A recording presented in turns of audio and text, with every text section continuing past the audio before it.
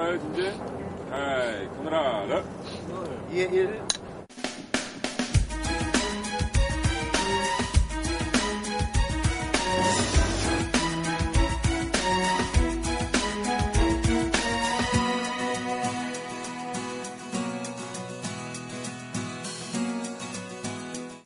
그게 어, 첫 장면이었고 그날 찍었을 때도 첫 씬으로 찍은 건데요.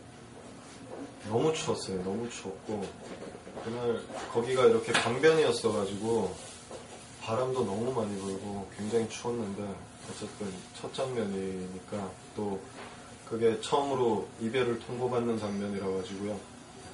최대한 열심히 찍으려고 노력했습니다.